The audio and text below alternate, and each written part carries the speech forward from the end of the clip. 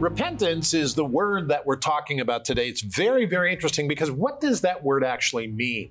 Well, we're talking from Hosea 14, 1 through 9. It is a good day to read the Bible. Good morning, good afternoon, good evening. My name is Rod Hembree. I'm Janice. And this is Bible Discovery. We are discovering the Bible and learning from Hosea some of the things that God has spoken to us. Now, Corie and Ryan are here as well. Corie? Today, I'm going to be taking a look at one of the kings who reigned during Hosea's ministry, Ahaz. Ryan? Well, I know that we're in Hosea, but today I want to go back a little bit and show you an exciting archaeological discovery related to Daniel. Daniel is amazing, so that's good. Okay, Janice, what are you doing? Today, my segment is called The Foundation Stone. All right, so get out your Bible guide. If you don't have one, stay there. We'll tell you how you can get one in a moment.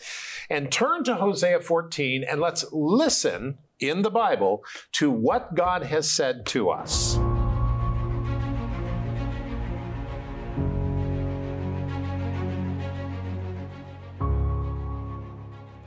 Hosea 14, 1 through 9. O Israel, return to the Lord your God, for you have stumbled because of your iniquity. Take words with you and return to the Lord. Say to him, Take away all iniquity. Receive us graciously, for we will offer the sacrifice of our lips. Assyria shall not save us. We will not ride on horses, nor will we say any more to the work of our hands, You are our gods. For in you the fatherless finds mercy. I will heal their backsliding. I will love them freely, for my anger has turned away from him. I will be like the dew to Israel. He shall grow like the lily, and lengthen his roots like Lebanon. His branches shall spread. His beauty shall be like an olive tree, and his fragrance like Lebanon. Those who dwell under his shadow shall return. They shall be revived like grain and grow like a vine. Their scent shall be like the wine of Lebanon. Ephraim shall say, What have I to do any more with idols? I have heard and observed him. I am like a green cypress tree. Your fruit is found in me. Who is wise? Let him understand these things. Who is prudent? Let him know them. For the ways of the Lord are right. The righteous walk in them, but transgressors stumble in them. Hosea chapter 14, verses 1 through 9. You know, the word is interesting. It's a word called repentance. What does that actually mean? Some people think it's a, religious word that sounds very, uh, well, this is the way you do things. But living in a way that pleases God is how Christians desire to be, and that's what repentance is about. We dedicate our lives to God to learning and following his ways over our own. There are understandably then many difficulties to be faced in the Christian life in this world, including our own countries, actually. Many of the nations that we live in now do not nor have ever chosen to follow God. And the persecution of Christians has never been higher. Entire cultures have turned desires against what the Word of God tells us life is all about. Well, in the West, we make it all about human rights. Everything's about my rights, my rights, individual rights. But as Christians or Christ followers, we should be less interested in our rights and more interested in doing the right thing according to God. Some things never change, though, and our way to God is an example of this. It has been through repentance. Repentance is the first step to following God. Today we read Hosea 14, and we learn the benefits of repentance to our merciful and kind Creator. Now, this world that we live in is not a world where sin is taken care of. In fact, the world is under the bondage of sin because of the first couple, Adam and Eve. I believe they were literal and they were they came on the earth and they did opposite of what God told them. You know, God told them, I want you not to eat of the tree of the knowledge of good and evil, and they ate of the tree. They did exactly what God told them not to do. Very, very interesting. Well, today, as we focus on Hosea 14, we're going to study that. So take your Bible guide out and turn with me to that page. If you don't have a Bible guide, write to us or call us. We'll send you one. And also remember that you can get a hold of it on BibleDiscoveryTV.com. When you go there, click on the Bible guide and it will take you to a page where you can download it exactly how we've printed it. So you can have your copy of the Bible guide. And thank you for your donation.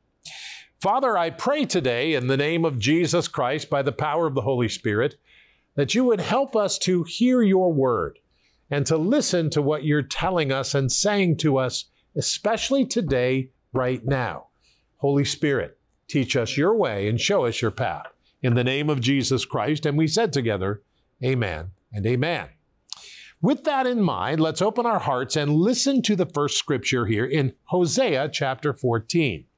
It says, O Israel, return to the Lord your God, for you have stumbled because of your iniquity. Take words with you and return to the Lord. Say to him, Take away our iniquity. Receive us graciously, for we will offer the sacrifices of our lips. Assyria shall not save us. We will not ride on horses, nor will we say any more to the work of our hands, You are our gods. For in you the fatherless finds mercy. In you the fatherless finds mercy. Now, here's the first point that I see here. When we know that God is the only one who can forgive us, we are ready to come to Jesus Christ. Now, that's important to remember. There is only one way to total forgiveness, complete forgiveness, and heaven. And that, beloved, is through Jesus Christ. Many people have tried to say, well, if you do this or do that or give to this ministry or give that ministry, give to this church, give to that church, you'll be forgiven. No, that's not what the Bible says. The Bible says if you confess with your mouth Jesus Christ as Lord, believe in your heart he died and rose again, and then you say, Lord, be the Lord of my life, then you will discover the truth about who God is and learn how to live a repentant life. All right, now let's go on to the next scripture because it's very interesting. Verse 4 says, I will heal their backsliding. There it is. I will heal their backsliding. I will love them freely, for my anger has turned away from him. I will be like the dew to Israel. He shall grow like the lily and lengthen his roots like Lebanon. His branches shall spread and his beauty shall be like an olive tree, and his fragrance like Lebanon. Those who dwell under his shadow shall return, Hosea says. They shall be revived like grain and grow like a vine. Their scent shall be like the wine of Lebanon. Now, the second point is very interesting. Listen carefully. God not only forgives us for our sins, beloved, but He builds our strength. He builds our life. You see, the great redemption is that God makes us better than we ever were or ever could be, simply because when we come to Him, He reinforces the things which He made in us, which has been tarnished by sin. God relieves that burden and the Holy Spirit comes in, it is a fascinating way to think.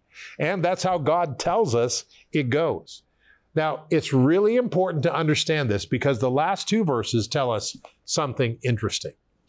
The third point comes this way the eighth verse of the chapter Ephraim shall say, What have I to do anymore with idols?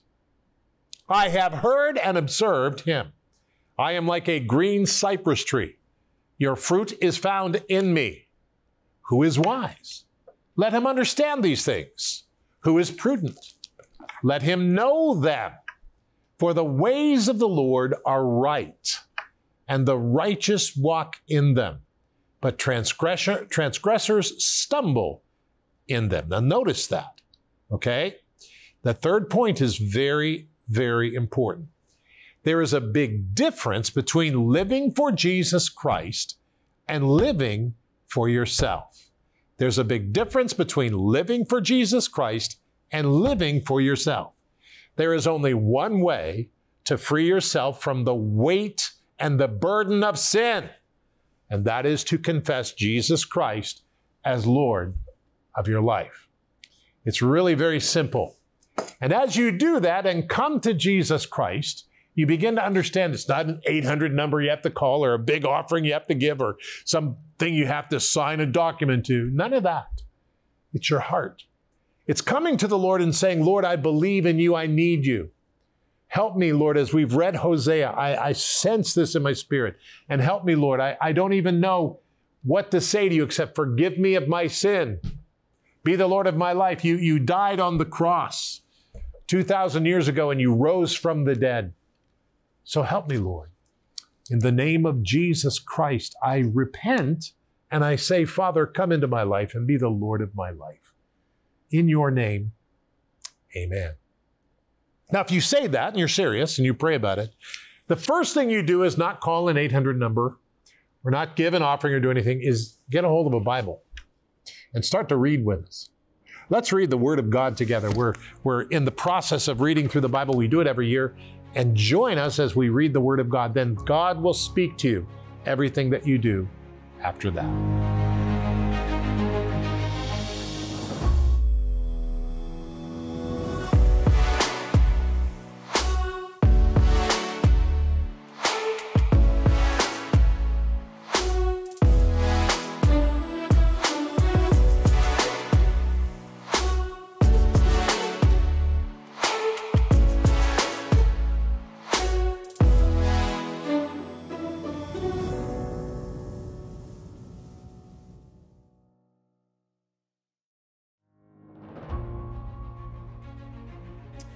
Well, it's time now to carry on with our Bible study. And our reading today is Hosea chapters 12 to 14. But as I said earlier, today I want to go back a book to Daniel because I want to share with you some really cool archaeological discoveries related to it. And specifically to Daniel chapter 5, which is the famous writing on the wall passage. And while unbelievers will often dismiss this story as a mere fairy tale, the truth is secular history corroborates it. And over the next two days, I'm going to be documenting some of the artifacts that archaeologists have found. And first up is an artifact known as the Cylinder of Nabonidus. Take a look.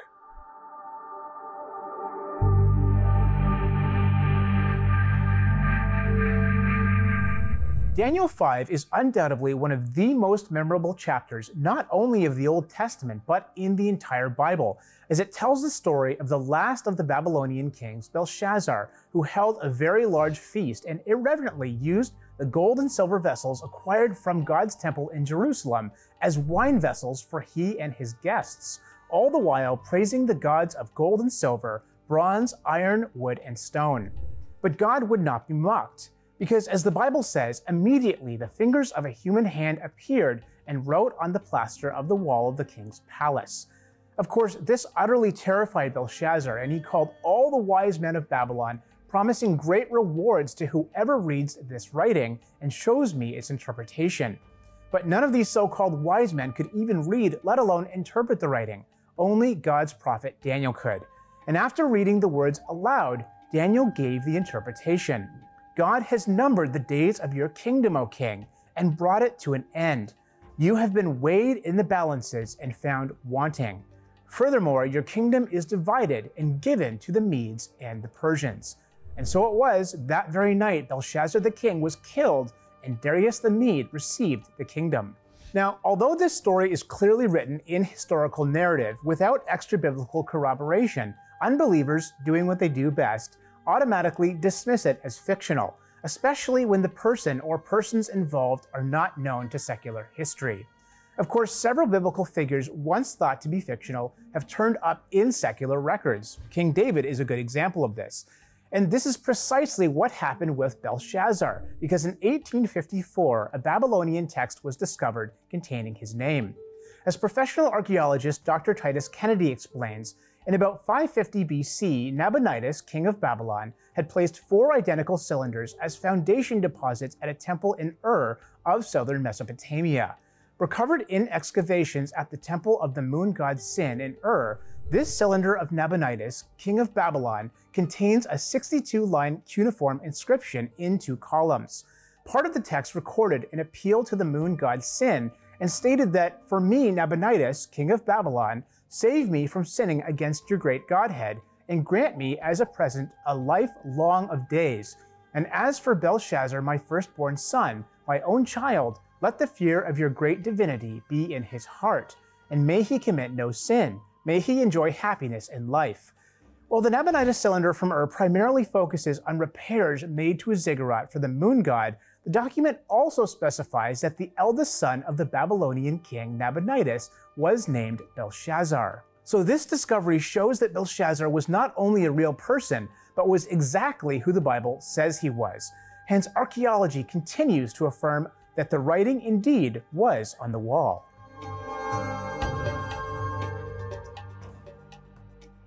So even though unbelievers doubted that Belshazzar was a real person, the cylinder of Nabonidus put that idea to rest. King Belshazzar was indeed a real person in history. And not only that, but he was also exactly who the Bible says he was. And as I said earlier, there's more, but we're going to have to wait on that until tomorrow. More. So we're going to look for more. So that's going to be very interesting. Uh, these discoveries are fascinating, aren't they? They're Yeah, amazing. oh, they really are. I mean, it's incredible. The more that we dig, the more archaeologists dig into the ground, as Corie will, uh, as Corie often says, they the more that they find. Well, because Israel is an ancient culture, an ancient society, like many of them over there, and uh, it's it's different here. You know, you build a development area, you just go and tear up the land and develop it and put all the pipes in. But there, I was in Israel, and they told me that they have to get clearance because everywhere they dig, it's there's Mhm. there's they're going to run into a Yeah, a lot of times they they stop. They have to stop pretty much right away and Yeah. call in the authorities. because it's restricted, and they have to get the IAA to come in and all that. So- Preserve the history. Yeah, and Yeah. that's has an effect when war comes in and they start using bombs and that sort of thing too. So Yeah. that's very very interesting. Thank you, Ryan. Mhm. Corie. All right, well, today we're talking about biblical King Ahaz because Hosea 1 tells us that Hosea ministered in the days of Uzziah, Jotham, Ahaz, and Hezekiah. So, biblical King Ahaz, he lived in the 8th century BC and he ruled over Judah from its capital city of Jerusalem. Now, the Bible records that his 16 year reign was a blemish of apostasy wedged between the godly reigns of his father, King Jotham, and his son, King Hezekiah. Ahaz built idols. He sacrificed at the pagan high places that were splashed around his country, and he even sacrificed his own children in the valley of Hinnom, which is just outside of Jerusalem. But practically speaking, Ahaz lived in a very difficult time politically and physically. The Assyrian Empire was on the move, defeating countries and growing in strength and power. Now, this Assyrian threat forced other nations into action, so they were forming alliances and attempting to secure more money and military strength before having to face the Assyrian troops that were inevitably coming.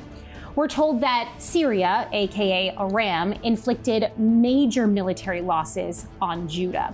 The nation of Israel also inflicted major losses on Judah, including killing Ahaz's son Maaseiah, who was likely the crown prince at the time. And Israel took 200,000 Judean captives before ultimately returning them after the controversy of enslaving their relatives threatened an internal revolt. But we're also told that on Ahaz's southern borders, Edom had been attacking, taking territory and carrying away captives. And the Philistines on the western border of Judah had been conducting regular raids into Judah's territory, slowly absorbing, absorbing Judah's cities into their own. It was really bad. And this is when the prophet Isaiah had encouraged King Ahaz to trust God, and God promised in return to save the country if he would. But instead, Ahaz sent word to Assyria's king Tiglath-Pileser, pledging Judah's allegiance if Assyria would rescue him.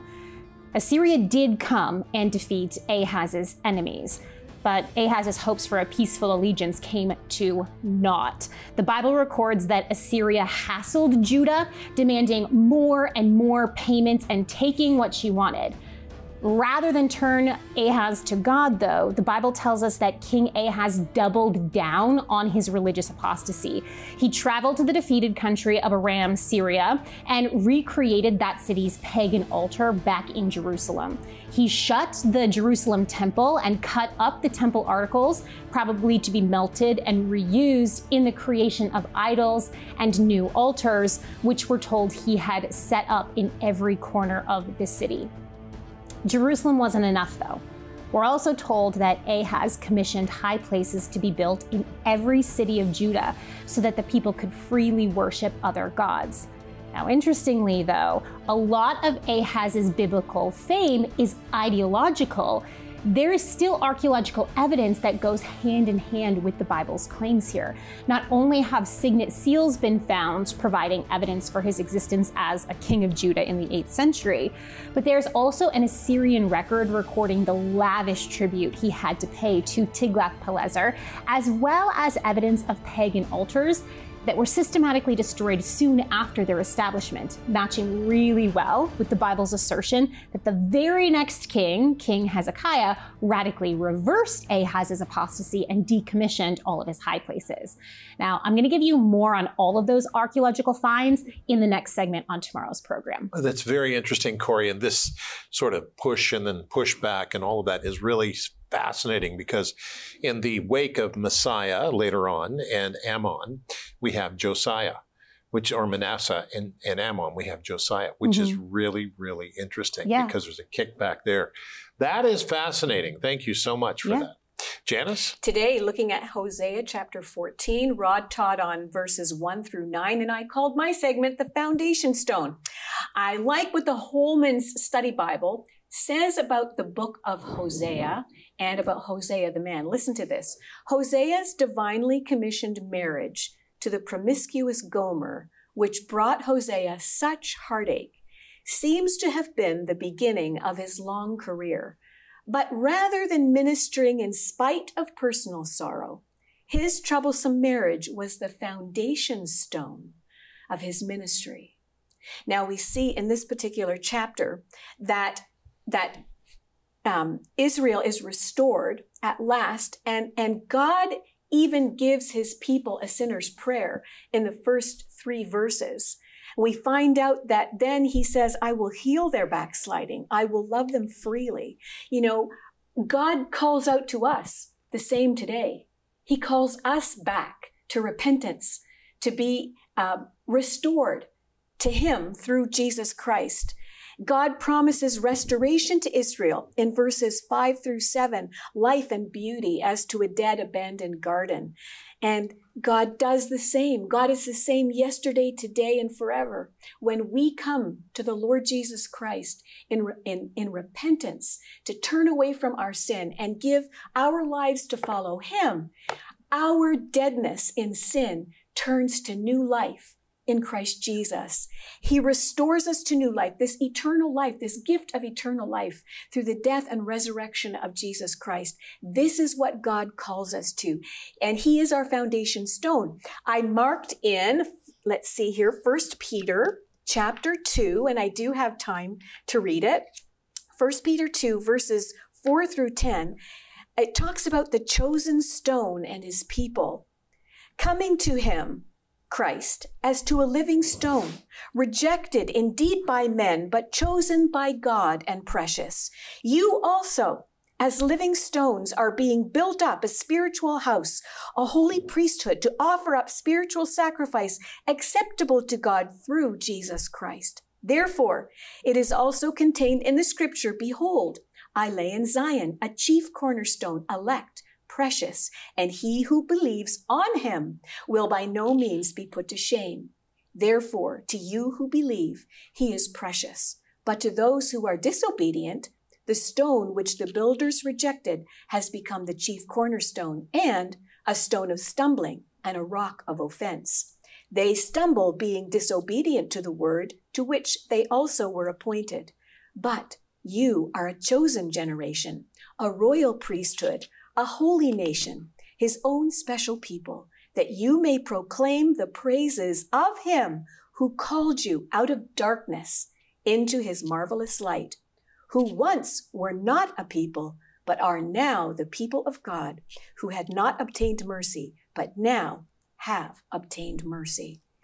This whole calling of God to repent, to come back, to be restored is the same thing that's offered to us today, Rod. And I just thank God for his merciful and amazing grace.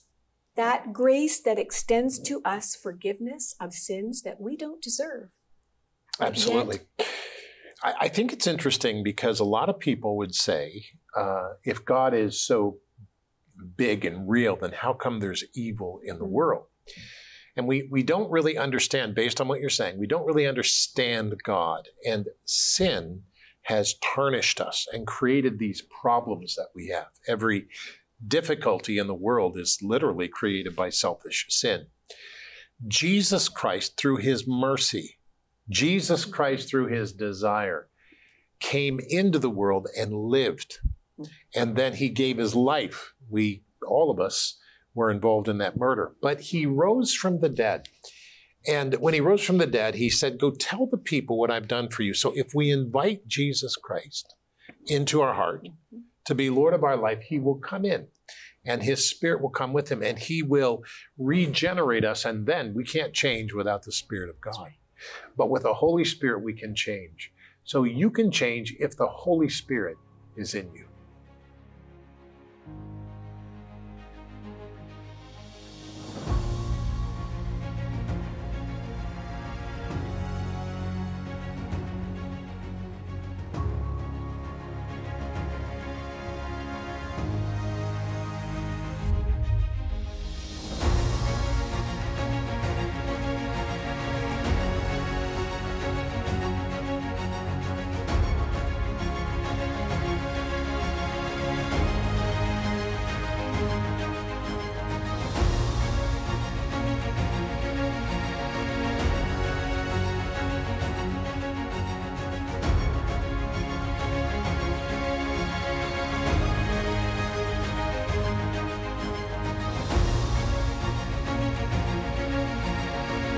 Today we pray, Lord, I repent of my sin. I believe that you came and gave your life and rose from the dead in the flesh. Help me today to follow you. Help me to be yours in the name of Jesus Christ. Amen. And Father, I continue to pray for the people who support us and help us through giving. Help them, Lord, and touch them, Lord, today. May you be able to, through them, they allow you to pay their bills and do everything necessary to meet all of their needs.